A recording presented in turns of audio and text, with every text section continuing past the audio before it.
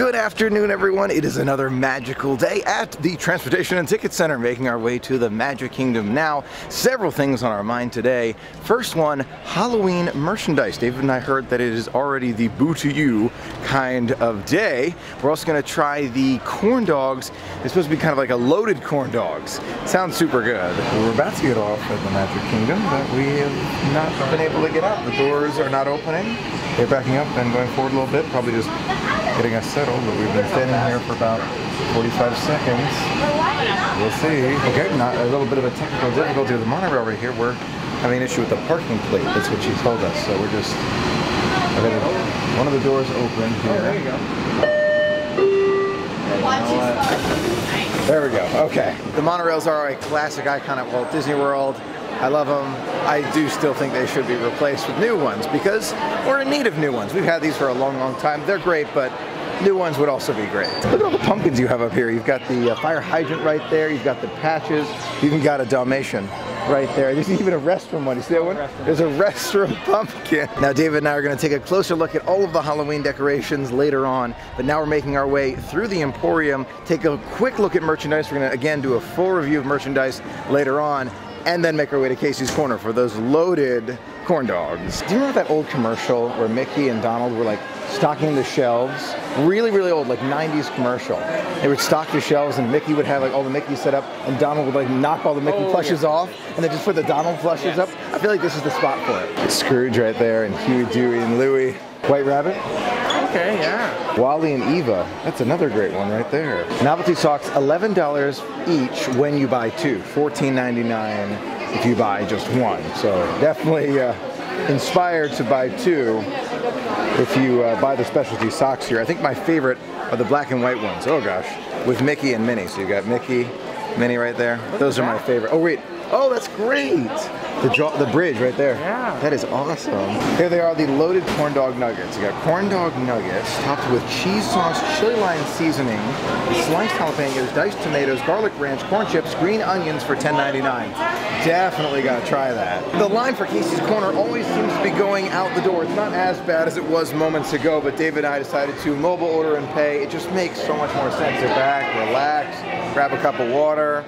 It's out seconds later. Take a look at the loaded corn dog nuggets from Casey's Corner. Relatively new option. Bon appetit. The corn dog alone is fantastic.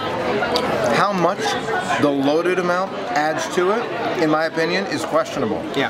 But I still love the corn dogs. So corn dogs by themselves are great too. Is it worth it for the loaded? I need another one for that. Jalapeno adds. But I think you can get jalapeno at the, the side area. That's true. I feel like it could use more of the loadedness. Yeah, it could. It could be even more loaded. It's unloaded right now. It's unloaded, needs to be reloaded. Maybe half loaded right now. More onion, more jalapeno. Maybe we can put more on top. Before we do that, let's give the, what is this again? The chili cheese fries. Chili cheese fries. From Casey's Corner. Let's give them a try. Totally agree with you. Yeah. They are good, and I feel like these are better than most things I've had here at Casey's Corner. I have not been amazed by Casey's Corner. Really? I have not been blown away. Most of the things here I felt like have been okay. So maybe we'll keep trying. But these are maybe one of the best things I've had here. But definitely Beaches and Cream takes a lead. Goes to show everybody has a different taste because there's food for every taste bud at Walt Disney World. Don't know if I would get these again. Would you? As opposed to regular fries, I probably would. You would. But it's it's it's nothing to write home about.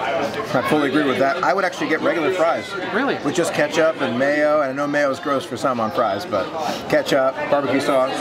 Yeah, regular fries I think I prefer. These are great too, as you're seeing I'm eating them, but I would prefer regular fries. Last but not least, the lemonade mint julep. I'm not sure how new it is, but it was at Casey's Corner. I had never tried it before. I wanted to give it a try. It does remind me of the mint julep we had near the beignets Yep. in Disneyland. Yep. So that's pretty good. Okay.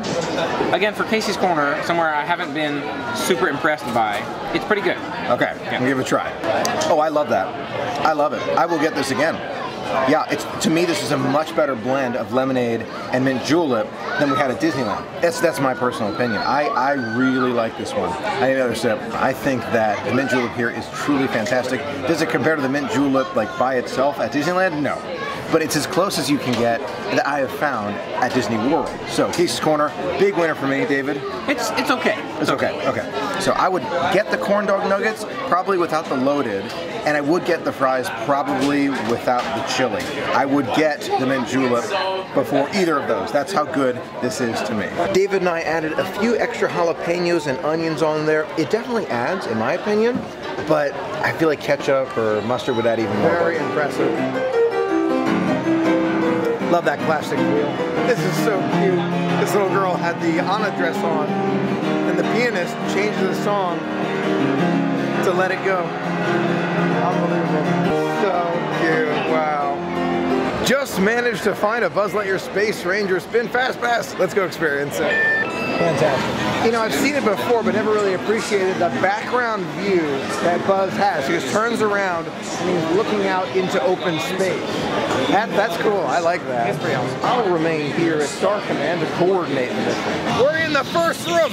Robots behind us, and David got Galactic Hero. I don't think I've ever done that. Nice. That's so impressive. Nice. That is unbelievable. Galactic Hero in the first room. What? I had a good shot of it. Wow. What did I tell you about David being good at video games? This is what I'm talking about right here. Showing me up on just a run on Buzz Lightyear. Come on. So close. Yes, one more. One more, one more. One more, one more, one more. Yes! Yes, that's what I'm talking about. Double Galactic Hero. Take a look at that. That is awesome. You know we got to get Galactic Hero stickers for that one. I mean, that's Okay. we got to do it.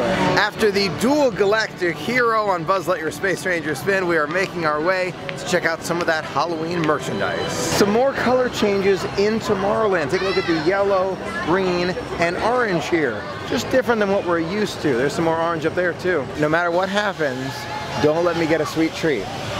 Because we're gonna get beignets later, right? We're going to French Quarter? Yeah. Don't, don't let me do it. I'm tempted already. Don't let me do it. Seen anything super appealing yet? Dessert-wise? Not especially.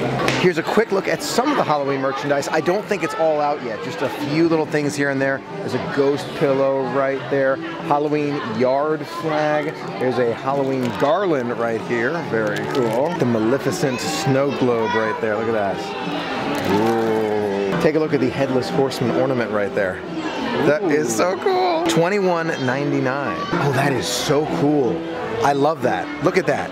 So you put a candle right there and then it shines through on this side. $19.99. You see that? It's flashing. Can you see it flashing? Oh, you sure can. That's great. I really like that one. $34.99. I love the light up hats. Take a look at the Mickey Pumpkin right there. Happy Halloween 2019. $24.99. Take a look at this one. I'm pretty sure it's a candle warmer, but I'm not 100% sure. The back is open, so I imagine you put like a candle on there and maybe a something underneath to heat it up. I have no idea. I just know it's super cool. $27.99. Look at this potion jaw mug right there. That is great. Mickey and Minnie on this side. On this side, you have brewing up a terrific time. 19.99. Ooh, look at this. Prepare to be scared sweatshirt with Mickey right there. And on the back, oh, that's really nice. Happy Halloween King Pup featuring the big bad werewolf. There's Donald right there. That's a great sweatshirt. $49.99. Here's Zero again. Take a look at this. We saw him the other day with the cast member. You walk him around and you push a button on Zero's back, probably to make him light up. I really like that. Look at Zero all lit up there with the nose too. You can walk him like with that dog, you know, walker kind of like a leash thing, but it actually walks him too. That is awesome. Take a look at this light up Mickey pumpkin right there. That is awesome for collecting candy right there. Cost $19.99. A little bit heavy for collecting candy, but for that glowing effect, I love it. The ghost one is much lighter, a little bit scarier, but lighter. And on the back it says trick or treat. This one's $16.99, much lighter, but between the two, even though it's heavier, I prefer that one. That, that is awesome. Um, you put candy in here, that's how I envision it. You put candy in here and you reach in and get the candy. That is awesome, made of ceramic. $29.99. To me, this is one of the coolest new items they have. Halloween candy as well, like popcorn and chocolate covered pretzels, hot chocolate with marshmallows. You've got uh, Mickey's right there with candy corn inside. You've got the uh, Rice Krispie treats right here with chocolate, several of them attached together, and some more bags. For the littlest ones in your traveling party, you've got the sweatshirt right here with Mickey on the front and the ears on the hood. Yes, gotta have the ears with it. Without the ears, it's a deal breaker, but it's got the ears. This one is $46.99. Take a look at the pumpkin onesie right there for those youngest of the youngest who are celebrating Halloween, $19.99. I'm a monster at heart. I have a feeling that's going to be rather popular right there. $27.99. Candy corn ears, perfect for the Halloween time of year. Take a look at this women's shirt right here. Very cool. It costs $39.99. You're thinking to yourself, oh, that's a nice shirt with sequins right there. But watch what happens when David does this. The entire pumpkin comes to life. That is awesome. I love the idea. These uh, sequin, I don't know, changing color ones are really cool and getting popular. Another one for women here. Take a look at the ghosts and Mickey pumpkins and skeletons right there. The back, it has kind of that open back look. $34.99. Those are nice pajama pants right there. Again, with that same design, Mickey and the pumpkin and the ghost right there.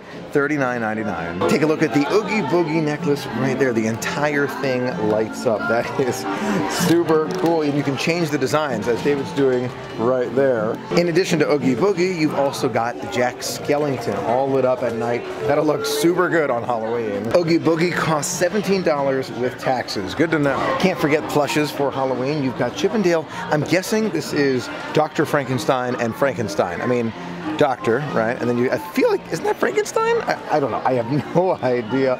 You've got Minnie as the witch. I think she was a witch last year as well. Very nice. Mickey, and what is Mickey? Oh, Mickey's a vampire. Take a look. He's got his teeth right there too. That's Mickey Vampire. Teeth, cape, and everything. I think Pluto Mummy is my favorite. That is so cool. $21.99. He's got kind of the, uh, the headband there too, and he's totally wrapped. That is awesome. David, what do you think of all the merchandise here for Halloween? This is my favorite. Is it? Yeah, this is my favorite. You okay. put candy in here, you take candy. I mean, come on, that's that's awesome. So you like the Batman-shaped Mickey bowl? It's not Bat. It's Batman. Batman, right? Look at that. Not, that's not Batman. That's barely Batman. It's just the teeth. Ah, wow. My favorite piece of merchandise. There were a lot that I liked. Okay. I like the Oogie Boogie necklace. I like that sweatshirt a lot too. That oh, the, really the design on the back, yeah. Yeah. And the plushies were great too. Yeah. I like Chip and Dale.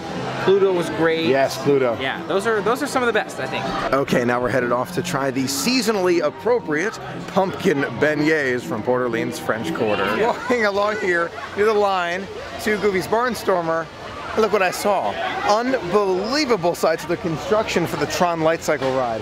Let's zoom in here. Unbelievable to see it in progress. You see the Tron Lightcycle now programming sign in front of the construction. There's kind of like a tube that's beginning right as it takes off, or maybe that's the exit, hard to know but those tracks are coming along extremely quickly. You can see some of the banks and turns, they go up and down and over. I personally cannot wait to experience this. David, what do you think? Super excited? It looks super exciting. Definitely excited for it. Love to see some new coasters.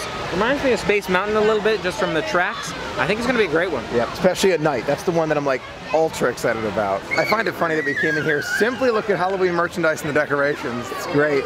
Now we're making our way to Port Orleans, a French Quarter, for that pumpkin beignet. As we're making our way out, we're saying hi to Tigger and Pooh. Hey there, good to see you guys. We'll definitely come back and get some late night shots, but there's one of the Mickey pumpkins lit up as the sun is beginning to set. As we were making our way out, we stopped by the confectionery, and I'm so glad we did because we're finding interesting Rice Krispie treats and even a Jack Skellington mini, oh my gosh. Jack Skellington holding his at this time with candy inside. Very cool. At night, the see real soon also lights up. Oh, wow. It's really nice. Can't believe it. We're so close to the silver monorail and they've closed it off. We'll catch it at some point. We will. This I don't quite understand. We were actually standing out here. Silver Monorail has plenty of room left over with open seats too. There are seats open right there, but they wouldn't let anyone else get on board. Maybe someone can explain that one to me. I, I just don't understand it. All right, Silver Monorail. We'll catch you at some point. Bridge that they're building right here near the Grand Floridian make that walkway all the way around. It's gonna be so cool to see. Sun setting over our shoulder, making our way to the tram, then the car, then Port Orleans French Quarter. See you there. Just in time for the fall, we've made it to Port Orleans French Quarter for those pumpkin beignets. You got that shrimp po' boy if you're still hungry. Are you still hungry? You could eat. I'm not especially hungry, but I do love the po' boy. Would you split one? I would.